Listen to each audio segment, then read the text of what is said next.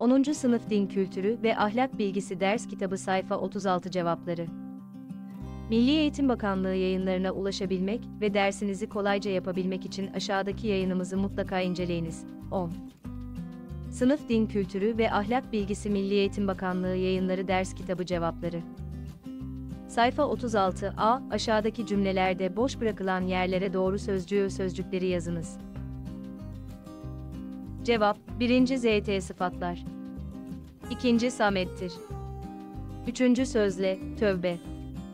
4. Oyun. 5. Tövbe. 1. Sadece Yüce Allah'ın sahip olduğu, başka hiçbir varlıkta bulunmayan özelliklere ZT sıfatlar denir. İkinci de ki, O Allah'tır, tektir. O Samet'tir. Doğurmamış ve doğmamıştır. Onun hiçbir dengi yoktur. İhlis Suresi 1-4 ayetler. Üçüncü istiğfar sözle, tövbe ise fiili olarak yapılan bağışlanma isteğidir.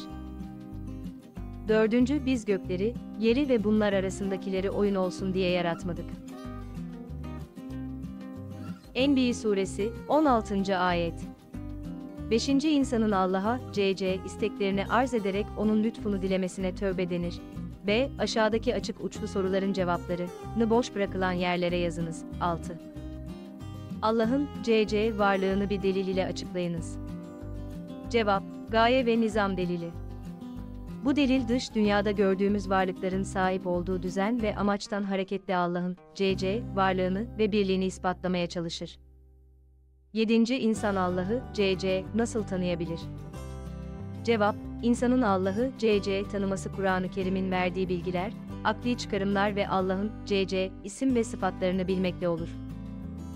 8. İnsanın yaratıcıyla irtibat kurma yolları nelerdir? Cevap: Dua, ibadet, tövbe ve Kur'an okuma. 9. Kur'an-ı Kerim'e göre insanın yaratılış amacı nedir? Cevap: Kur'an-ı Kerim'e göre insanın yaratılış amacı Allah'ı tanıması, ona kulluk etmesi ve bu dünyanın bir imtihan yeri olduğunu bilerek iyi ameller ortaya koymasıdır.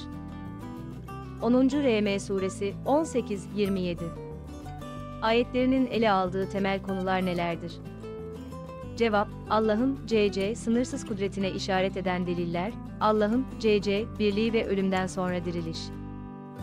C aşağıdaki çoktan seçmeli soruları okuyunuz ve doğru seçeneği işaretleyiniz. Kendimize, dünyaya ve kainata baktığımızda mükemmel bir düzen ve ahenk olduğunu görürüz. Bu mükemmellik üzerine düşündüğümüzde bunun kendiliğinden ya da tesadüf eseri olmadığı sonucuna ulaşırız. Her şeyin sonsuz bir ilim ve kudretin tecellisi olduğu düşüncesi bizi tek bir yaratıcı inancına götürür. 11. Yukarıdaki paragrafta anlatılmak istenen ana fikir aşağıdakilerden hangisidir? A. Kainatın tesadüfen oluşması mümkündür. B. Kainattaki mükemmel sistem insanı Allah, C.C. inancına götürür. C. Dünyaya kaos hakim olduğu için bir yaratıcıdan bahsedilemez. D. İnsan aklı Allah'ın, C.C. varlığı fikrine ulaşacak donanıma sahip değildir. E. Kainatın bir ilim ve kudret eseri olduğu söylenemez. Cevap B. 12. Varlıklardan hiçbirine benzemez. O düşündüğümüz her şeyin ötesindedir.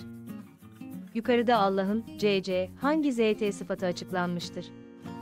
A. Muhalefetün lilde hadis B. Vücut. C. Kıyam bir nefsi D. Kıdem E. Vahdaniyet. Cevap A.